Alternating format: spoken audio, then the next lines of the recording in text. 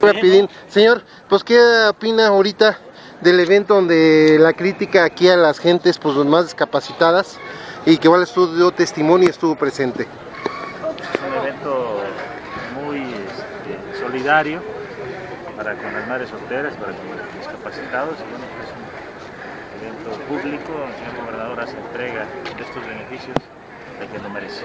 Señor, ahorita que está al frente de estas nuevas oficinas y atendiendo a todos los maestros, para no robarme la entrevista, quisiéramos platicar este gran trabajo que está realizando al frente de las oficinas. Su nombre y cargo. Señor Luis Román Miranda, director general del ISPEC. Cuando el Instituto de Seguridad Social atiende fundamentalmente a los trabajadores para tener con el tiempo que la misma ley señala derecho a una pensión y jubilación.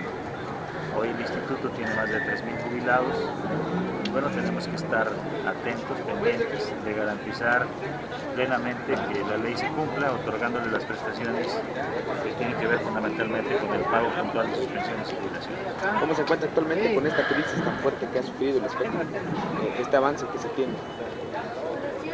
Bueno, hay una problemática que está financiera, en el sentido de que cada día los egresos son superiores a los ingresos y que se está atendiendo, se está buscando los mecanismos que garanticen en el corto y mediano plazo que esto no afecte a los trabajadores, no afecte a quienes ya ganaron un derecho.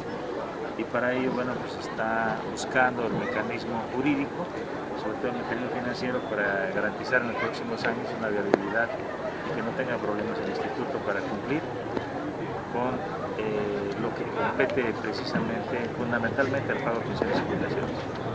Cosas muy importantes que nos acaba de decir, señor, realmente usted ha visto pues que fue, ha tenido diferentes cargos y que oportunamente está atendiendo todo con su representación. Pues nosotros manejamos eh, no solamente pues, periódico, televisión y redes, sino que estas redes con plataforma del gobernador, con plataforma de todas las redes sociales, de, de todos los partidos, se vaya de nuestras fronteras, más de un millón de gentes, pero son muchísimo más a Europa, Estados Unidos y Canadá. ¿Algún mensaje que usted les quiera dar a toda la gente que nos está viendo en otros lados y que talmente, actualmente es una realidad por medio de Twitter, por medio de Facebook y todas las redes? Un atento saludo a la ciudadanía en lo general, y bueno, en el caso de nuestros cotizantes, en el caso de nuestros pensionados jubilados, pues a que estén pendientes, a que estén atentos de todo lo que implica los servicios que otorga el instituto y desde luego los compromisos que vamos a ir cumpliendo sobre todo en estas fechas próximas del mes de diciembre. Muchas felicidades. No, señor, pues muchísimas gracias por esta entrevista y sobre todo la atención que ha tenido con nosotros y eh, pues esperemos que todo salga muy bien. Algo que se nos haya pasado quisiera comentar. Señor, muchísimas gracias por esta entrevista.